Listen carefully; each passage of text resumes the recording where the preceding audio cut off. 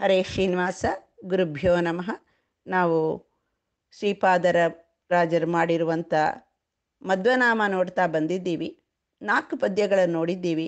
ಮುಖ್ಯ ಪ್ರಾಣರ ಮೂಲ ರೂಪವನ್ನು ವಿವರಣೆ ಮಾಡಿ, ಇವಾಗ ಅವತಾರ ರೂಪಗಳು. ಅಂದರೆ ಐದನೇ ಪದ್ಯದಿಂದ ಹನ್ನೊಂದನೇ ಪದ್ಯ, ಸುಮಾರು ಏಳು ಶ್ಲೋಕಗಳಲ್ಲಿ ಹನುಮನ್ ದೇವರ ಅವತಾರ ರಾಮಾಯಣದ ವಿವರಣೆಯನ್ನು ಕೊಡ್ತಾ ಇದ್ದಾರೆ.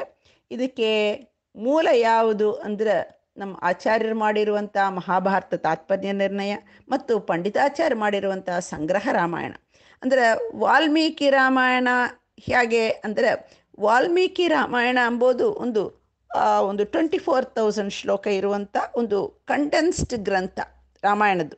ಅದಕ್ಕೆ ಮೂಲವಾಗಿ ಶತಕೋಟಿ ಶ್ಲೋಕದಿಂದ ಇರುವಂಥ ಭಗವಂತನೇ ಮಾಡಿರುವಂಥ ಮೂಲ ರಾಮಾಯಣದ ಅದರಿಂದ ಆಚಾರ್ಯ ನಮಗೆ ಒಂದು ಕ್ಲಾರಿಟಿಯನ್ನು ಕೊಟ್ಟಿದ್ದಾರೆ. ಸೊ ಈ ಪದ್ಯ ಇವಾಗ ಐದನೇ ಪದ್ಯ ಹೀಗಿದೆ. ತ್ರೇತೆಯಲ್ಲಿ ರಘುಪತಿಯ ಸೇವೆ ಮಾಡುವೆನೆಂದು ವಾತಸುತ ಹನುಮಂತ ನೆನೆಸಿದ. ಪೋತ ಭಾವದಿ ತರಣಿ ಬಿಂಬಕ್ಕೆ ಲಂಕಿಸಿದ. ಈತಗೆಣ ಯಾರು ಮೂರು ಲೋಕದೊಳಗೆ ಅಂತ. ನೋಡುವಾಗ ಸರಳವಾಗವೇ ಇದೆ. ರಾಮಾಯಣದಲ್ಲಿ ಬಂದಿರುವಂಥ ವಿಷಯವೇ ಇದು. ಇದರನ್ನು ದ ಚಾಯ್ಸ್ ಆಫ್ ವರ್ಡ್ಸ್ ಅವರು ಹಾಕಿರುವಂಥ ಕೆಲವು ಶಬ್ದಗಳು ನಮಗೆ ವಾಲ್ಮೀಕಿ ರಾಮಾಯಣ ಓದಿದ್ದಾಗೆ ಬರುವ ಸಂಶಯಗಳನ್ನು ನಿವಾರಣೆ ಮಾಡುತ್ತೆ. ಅದು ಹೇಗೆ ಅಂತ ನೋಡೋಣ.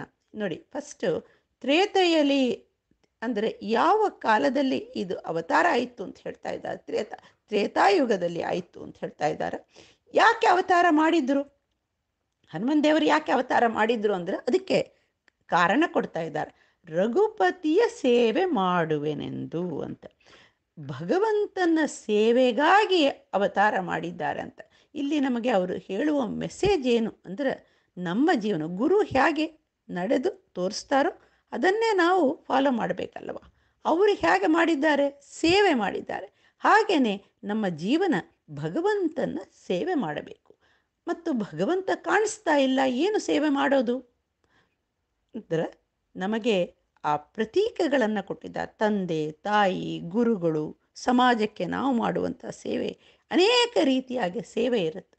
ಆ ಸೇವೆಯನ್ನು ಅದು ದೇವರಿಗೆ ಮಾಡುವಂಥ ಒಂದು ಪೂಜಾ ಎಂಬ ಭಾವನೆಯಿಂದ ನಮ್ಮ ನಮ್ಮ ಕರ್ತವ್ಯವನ್ನು ನಾವು ಪೂಜಾರೂಪವಾಗಿ ಮಾಡಬೇಕು, ಸೇವೆ ಅಂತ ಅದು ತಿಳಿಸ್ಲಿಕ್ಕೆ ತ್ರೇತೆಯಲ್ಲಿ ರಘುಪತಿಯ ಸೇವೆ ಮಾಡುವೆನೆಂದು ಅಂತ ಅದು ಸೇವೆ ಮಾಡಲಿಕ್ಕೆ ಅವತಾರ ತೆಗೆದಿದ್ದಾರೆ ಅಂತ ಅವತ ನಾವು ಹುಟ್ಟು ಹುಟ್ಟು ಹುಟ್ಟಿನ ಗುರಿ ಹೇಗಿರಬೇಕು ಅಂತ ತೋರಿಸ್ತಾ ಇದ್ದಾರೆ. ಆಮೇಲೆ ನೆಕ್ಸ್ಟ್ ನೋಡಿ ವಾತಸುತ ಅಂತ ಹೇಳ್ತಾ ಇದ್ದಾರೆ. ವಾತಸುತ ಅಂದರೆ ಏನು? ಅಂದರೆ ವಾತಸುತ ಅಂತ ಹೇಳುವ ಮೂಲಕವಾಗಿ ಆ ಒಂದು ವಾಯುದೇವರ ಪುತ್ರರು ಅಂದರೆ ಅವರಿಗೆ ಅವತಾರ ಮೂಲರೂಪ ಎರಡೂ ಒಂದೇ. ಬಲದಲ್ಲಿನೂ ಜ್ಞಾನದಲ್ಲಿನೂ ಎಲ್ಲ ರೀತಿಯಿಂದಲೂ ಭಗವ, ಆ ಭಗವಂತನಿಗೆ ಹೇಗೆ ಅಂದರೆ ಭಗವಂತನಿಗೇನೋ ಅವತಾರ ರೂಪಗಳಿಗೇನೋ ಹೇಗೆ ವ್ಯತ್ಯಾಸ ಇಲ್ಲವೋ ಹಾಗೆಯೇ ವಾಯುದೇವರ ಮೂಲ ರೂಪಕ್ಕೇನು, ಅವತಾರ ರೂಪಕ್ಕೇನು ಕಿಂಚಿತ್ತೂ ವ್ಯತ್ಯಾಸವೇ ಇಲ್ಲ ಅಂತ ತಿಳಿಸ್ಲಿಕ್ಕೆ ಆ ವಾ, ಅದು ಒಂದು. ಅವತಾರ ವಾಯು, ವಾಯುಸುತ ಅಂತ ಹೇಳುವಾಗ ವಾಯುದೇವರ ಪುತ್ರ, ತಂದೆ, ಮಗ ಈ ಥರ ಲೌಕಿಕ ಚಿಂತನೆ ಇರಬಾರದು ನಮಗೆ.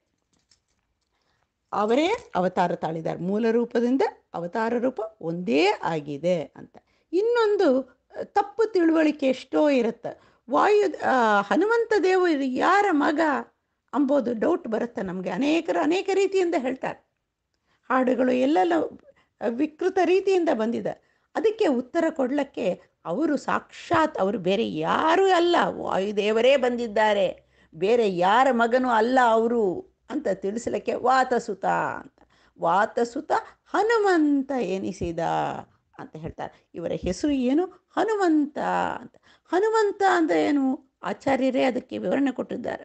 ಹನು ಅಂಬೋದು, ಆ ಹನು ಅಂದರೆ ದಬಡೆ ಅಂಬೋ ಅರ್ಥ ಒಂದು ಇದ್ರೂ ಇಲ್ಲಿ ಹನು ಅಂತ ಹೇಳೋದು ಹನು ಜ್ಞಾನವಾಚಿ ಅಂತ ಕೊಟ್ಟಿದ್ದಾರೆ. ಅಂದರೆ ಜ್ಞಾನವಾನ್ ಎಂಬ ಅರ್ಥ ಅರ್ಥದಿಂದ ಅವರು ಜ್ಞಾನ ಜ್ಞಾನ ಅವರಲ್ಲಿ ಅವರು ಹುಟ್ಟುವಾಗಲೇ, ಅಂದರೆ ಅವರಲ್ಲಿ ಇರುವಂಥ ಜ್ಞಾನಕ್ಕೆ ಯಾವಾಗ ಲೋಪವೇ ಇಲ್ಲ ಅವರಿಗೆ ಅಂತ ಹೇಳ್ತಾರೆ ಜ್ಞಾನವಾನ್ ಅವರು ಸೊ ಸರ್ವಜ್ಞಾಚಾರ ಅಂತ ನಾವು ಹೇಳ್ತೀವಲ್ಲ, ಹಾಗೆ ಹನುಮಂತ ದೇವರಿಗೇನು ಅವರು ಮೂಲ ರೂಪ ಹೇಗೆ? ಅವತಾರ ರೂಪವು ಒಂದೊಂದು ಹಾಗೆ ಇದೆ. ಹನುಮಂತ ಎನಿಸಿದ ಅಂತ ಹೇಳ್ತಾ ಇದ್ದಾರೆ. ಮತ್ತು ಹುಟ್ಟಿದ ತಕ್ಷಣ ಏನಾಯಿತು ಅಂತ ಹೇಳ್ತಾ ಇದ್ದಾರೆ. ಪೋತ ಭಾವದಿ ತರಣಿ ಬಿಂಬಕ್ಕೆ ಲಂಕಿಸಿದ ಅಂತ ಹೇಳ್ತಾ ಇದ್ದಾರೆ. ಸೊ ಏನು ಮಾಡಿದರು?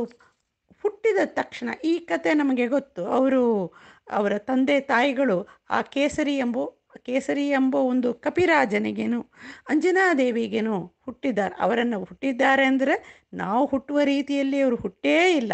ಯಾಕೆ? ಅವರು ಎಲ್ಲ, ವಾಯುದೇವರು ಎಲ್ಲ ಕಡೆಯೂ ಇದ್ದಾರೆ. ಅವರ ಮೂಲಕ ಅವರನ್ನು ಒಂದು ನಿಮಿತ್ತ ಮಾಡಿಕೊಂಡು ಅವರು ಅವತಾರ ಮಾಡಿದ್ದಾರೆ ಅಂತ ತೋರಿಸ್ತಾರೆ. ಅದು ಜೊತೆ ಜೊತೆಯಲ್ಲಿ ಅವರಿಗೆ ಆ ಕಥೆಯೂ ನಮಗೆ ಬರುತ್ತೆ. ಅವರು ಕೇಸರಿ ಎಂಬ ಕಪಿ ಆ ಒಂದು ದುಷ್ಟ ದೈತ್ಯರನ್ನೆಲ್ಲ ಸಂಹಾರ ಮಾಡಿ ಅಲ್ಲಿ ಇರುವಂಥ ಆ ಮೇರು ಪರ್ವತ ಹತ್ತಿರ ಇರುವಂಥ ಪ್ರದೇಶದಲ್ಲಿ ವಾಸ ಮಾಡ್ತಾ ಇರೋವಾಗ ಆ ದುಷ್ಟ ದುಷ್ಟ ರಾಕ್ಷಸರನ್ನು ಸಂಹಾರ ಮಾಡಿ ಅಲ್ಲಿ ಇರುವಂಥ ಮುನಿಗಳಿಗೆ ತುಂಬ ಸಂತೋಷವನ್ನು ಉಂಟು ಮಾಡಿ, ಅವರುಗಳು ಏನಾರು ವರ ಕೇಳು ಅಂತ ಕೇಳಿದಾಗೆ ತನಗೆ ಒಂದು ಮಗ ಬೇಕು, ಎಂಥ ಮಗ ಬೇಕು ಅಂದರೆ ಅವನು ಭಗವಂತನ ಭಕ್ತ, ಭಗವಂತನಿಗೇ ಸೇವೆ ಮಾಡುವಂಥ ಅಂಥ ಉತ್ತಮವಾದಂಥ ಮಗು ಬೇಕು ಅಂತ ಕೇಳಿದ್ದಾರೆ ಭಗವಂತ ಒಬ್ಬನಿಗೆ ಸೇವೆ ಮಾಡುವವನು ಯಾರು? ವಾಯುದೇವರೇ ಆಗ್ತಾರೆ. ಉಳಿದ ಯಾರಿಗೇನು? ಲಕ್ಷ್ಮೀನಾರಾಯಣರ ಬಿಟ್ಟು ಹಿಂದಿನ ಪದ್ಯದಲ್ಲಿ ಬಂದಂತೆ ಬಿಟ್ಟು ಅವರು ಯಾರನ್ನೂ ಲೆಕ್ಕಿಸದೇ ಇಲ್ಲ ಅಂತ ಹೇಳಿದ್ದಾರೆ. ಸೊ ಹನುಮಂತ ದೇವರು ಅವರು ವಾಯುದೇವರೇ ಹುಟ್ಟಬೇಕು ಅಂತ ಪ್ರಾರ್ಥನೆ ಮಾಡಿದಾಗೆ ಹಾಗೆ ಆಗಲಿ ಅಂತಾರೆ. ಆಮೇಲೆ ಇಲ್ಲಿ ನಮಗೆ ಅಂಜನಾದೇವಿ ಮೂಲಕವಾಗಿ ಅವರು ತಪಸ್ಸು ಮಾಡಿ ಆ ಮತಂಗ ಮುನಿಗರನ್ನು ಹೋಲಿಸಿ ಅವರು ಮಗನನ್ನು ಪಡೆದರು ಅಂತ ಬರುತ್ತೆ. ಸೊ ಹುಟ್ಟಿದಾಗೆ ಏನಾಯಿತು ಅಂತ ಹೇಳ್ತಾರೆ. ಪೋತ ಬ, ಪೋತ ಅಂದರೆ ಚಿಕ್ಕ ಮಗು ಅಂತ. ಪೋತ ಪೋತ ಅಂತ ಮಾತ್ರ ಹೇಳಿಲ್ಲ. ಪೋತ ಭಾವದಿ ಅಂತ. ಆ ಭಾವನೆ ಅಂದರೆ ಇಲ್ಲಿ ಹೇಳೋದು ಮುಗು ಮುಗು ಅಂತ ಅರ್ಥ ಅಲ್ಲ, ಮುಗುವಂತೆ ಭಾವನೆ ಎಂಬುದು ಅರ್ಥ ಬರುತ್ತೆ. ಮುಗುವಂತೆ ಭಾವನೆ ಅಂದರೆ ಏನು? ಮುಗುವಂತೆ ಭಾವನೆ ಅಂದರೆ ಚಿಕ್ಕ ಮಕ್ಕಳಿಗೆ, ಆ ಹುಟ್ಟಿದ ಮಕ್ಕಳಿಗೆ ಮನಸ್ಸು ತೆಳ್ಳಗಿರುತ್ತೆ. ಮನಸ್ಸು ಒಂದು ಮನಸ್ಸಲ್ಲಿ ಯಾವ ಒಂದು ದುಷ್ಟ ಕಲ್ಪನೆ ಯಾವುದೂ ಇರೋದಿಲ್ಲ, ಶುದ್ಧ ಭಾವ ಇರುತ್ತೆ. ಹಾಗೆಯೇ ಅವರು ಆ ಜ್ಞಾನದಿಂದ ಶುದ್ಧರಾಗಿ ಅವರು ಹುಟ್ಟಿದ್ದಾರೆ. ಸೊ, ಪೋತ ಭಾವದ ಏನು ಮಾಡಿದ್ದಾರೆ? ಹುಟ್ಟಿದ ತಕ್ಷಣವೇ ತರಣಿ ಬಿಂಬಕ್ಕೆ ಲಂಕಿಸಿದ. ತರಣಿ ಬಿಂಬಕ್ಕೆ ಲಂಕಿಸಿದ ಅಂದರೆ ಈ ಕತೆ ವಿಕೃತ ರೀತಿಯಿಂದ ಎಲ್ಲರೂ ಹೇಳ್ತಾರೆ. ಇವರು ಹೇಗೆ ಏನು ಮಾಡಿದ್ರು ಅಂದರೆ ಶುದ್ಧ ಭಾವನೆ ಅಂತ ಹೇಳುವ ಮೂಲಕವಾಗಿ ಹನುಮಂತ ಅಂತಲೂ ಹೇಳಿದ್ದಾರೆ ಆ ಶಬ್ದ. ಅಂದರೆ ಜ್ಞಾನ ಹುಟ್ಟಿದ್ದಾಗಲೇ ಇವರಿಗೆ ಜ್ಞಾನ ಇತ್ತು. ಅಂದರೆ ಜ್ಞಾನ ಇತ್ತು ಆದ ಕಾರಣದಿಂದ ಆಕಾಶದಲ್ಲಿ ಸೂರ್ಯನನ್ನು ನೋಡಿದ್ರು, ಅದು ಹಣ್ಣು ಅಂತ ತಿಳ್ಕೊಂಡ್ರು. ಆ ಆ ಮಿಥ್ಯಾಜ್ಞಾನ, ತಪ್ಪು ತಿಳುವಳಿಕೆ, ಅಜ್ಞಾನ ಯಾವತ್ತೂ ಇವರಲ್ಲಿ ಇಲ್ಲ. ಅದಕ್ಕೆ ಅವರಿಗೆ ಹನುಮಂತ ಅಂತ ಹೆಸರು ಇಟ್ಟಿದ್ದರು ನಮ್ಮ ಹೆಸರು ಹಂಗಿಲ್ಲ. ಅವರಿಗೆ ಅದು ಸಾರ್ಥಕ ನಾಮ ಅವರದ್ದೇ ಹೆಸರು ಅದು. ಸೊ ಜ್ಞಾನವಾ, ಜ್ಞಾನವಂತರಾಗಿದ್ದರು. ಆ ಜ್ಞಾನವು ಹೇಗಿತ್ತು ಶುದ್ಧವಾದ ಜ್ಞಾನ ಇತ್ತು. ಪೋತ ಅಂತ ಹೇಳದೆ, ಪೋತ ಜೊತೆಯಲ್ಲಿ ಮಗುವಿನ ಭಾವನೆಯಂತೆ ಶುದ್ಧ ಭಾವನೆ ಇತ್ತು. ಶುದ್ಧ ಜ್ಞಾನ ಇದ್ದಾಗೆ. ಅವರು ಸೂರ್ಯನನ್ನು ನೋಡಿ ಅದು ಹಣ್ಣು ಅಂತ ತಿಳ್ಕೊಳ್ತಾರ? ಇಲ್ಲ. ಸೊ ಆದ ಕಾರಣದಿಂದ ಅವ್ರಿಗೆ ಸರಿಯಾದ ಜ್ಞಾನದಿಂದ ಅವರು ಹೋದರು. ಎಲ್ಲಿ ಹೋದರು? ಪೋತ ಭಾವದಿ ತರಣಿ ತರಣಿ ಅಂದರೆ ಸೂರ್ಯ. ಸೂರ್ಯನ ಹತ್ರ ಹೋದರು ಅಂತ ಹೇಳ್ತಾ ಇಲ್ಲ. ತರಣಿ ಬಿಂಬಕ್ಕೆ ಲಂಕಿಸಿದ ಅಂತ, ಬಿಂಬ ಅಂಬೋ ಶಬ್ದ ಬಳಸ್ತಾ ಇದ್ದಾರೆ.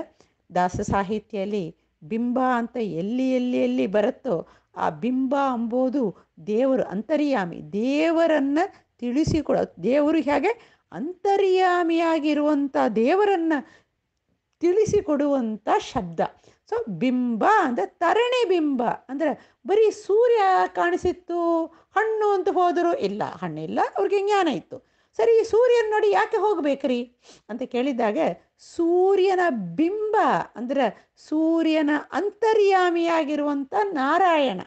ಅದು ಇನ್ನು ವಿವರಣೆ ಮಾಡ್ತಾರೆ ಮುಂದೆ ಪದ್ಯಗಳಲ್ಲಿ ಯಾಕೆ ಹೋದರು ಅಂತನು ಸೊ ತರಣಿ ಬಿಂಬಕ್ಕೆ ಲಂಕಿಸ ಸೊ ಅವರು ಶುದ್ಧ ಜ್ಞಾನದಿಂದ ದೇವರನ್ನು ಅಲ್ಲಿ ವಿಶೇಷವಾಗಿ ದೇವರತ್ತ ಜ್ಞಾನ ವಿಶೇಷ ಜ್ಞಾನ ಅವರಿಗೆ ಜ್ಞಾನ ಇದೆ ಜ್ಞಾನ ಇನ್ನೂ ಇನ್ನೂ ಇನ್ನೂ ದೇವರಿಂದ ಇನ್ನೂ ತಿಳ್ಕೋಬೇಕಾದ ವಿಷಯಗಳು ಅನೇಕ ಇರುತ್ತೆ ಸೊ ಅದು ತಿಳಿಯಲಿಕ್ಕೆ ಅವರು ಹುಟ್ಟಿದ ತಕ್ಷಣ ಕ್ಷಣವೂ ಅವರು ಆ ಒಂದು ವೇಸ್ಟ್ ಮಾಡಿಲ್ಲ ಹುಟ್ಟಿದ ತಕ್ಷಣನೇ ಹೋದರು ಹೋಗಿ ತರಣಿ ಬಿಂಬಕ್ಕೆ ಲಂಕಿಸ ಸೊ ಆ ತರಣಿ, ಆ ಸೂರ್ಯನ ಅಂತರ್ಯಾಮಿಯಾದ ನಾರಾಯಣನ ಹತ್ತಿರ ಹೋದರು ಆ ಪ್ರಕಾಶ ರೂಪ, ಸೊ ತಟ್ಟನೆ ಅವ್ರು ಹೋದರಲ್ಲಿ.